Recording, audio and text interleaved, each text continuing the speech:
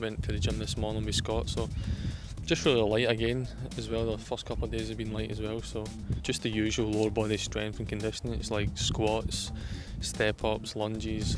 Yeah, some we got split up attackers together, defenders together, defenders with the gaffer doing whatever the defenders do, and then um, the attackers were just kind of walking through some um, phases of, of playing stuff and crossing and finishing. And we start a playoff goalies kick it to us. We just spray the ball left to right and then or else we play off striker. And just just trying to get a connection with our strikers and, and try to understand each other, us understanding them and then understanding us, and then bringing the wingers into it as well. You're maybe about 20 minutes away from home, but back up in sunny Scotland, as they say, but I'm not quite at home. But no, it's round here is uh, it's not much to do but it's a it's a good accommodation and stuff. Well, for the for the university people and stuff, has got a lot of things. It's one of the best in um, Britain as well. Growing up, obviously, I was at Celtic and I've just left there, so. Um, growing up, as I said, the younger ages, we come here and we play like St Johnstone, Falkirk, all the Perth.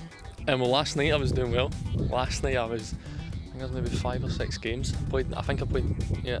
Last night I was, I was winning. Then I played the, this morning with Lloyd from Liverpool. It's on loan, and he gave me a bit of a doing.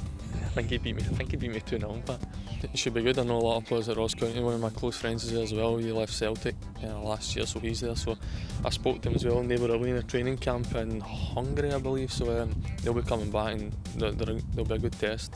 They're physical team. I think similar to the way English League One will be. Uh, in your faces won't really give you much time. But as I said, the main thing for us is get our fitness and get our communication with each other uh, understanding each other for the first game that's the most important one in August 8th. So.